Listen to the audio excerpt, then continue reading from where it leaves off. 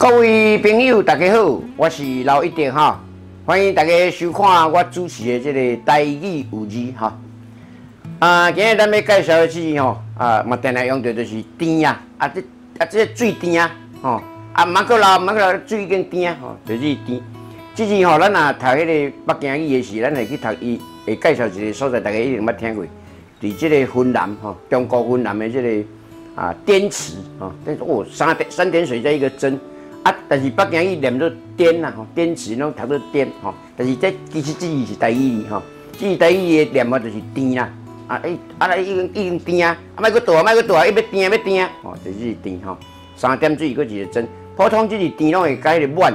念做为咯，甜碗碗，吼，甜碗碗就是甜啦，吼，看起来好像真的水很多了，哦，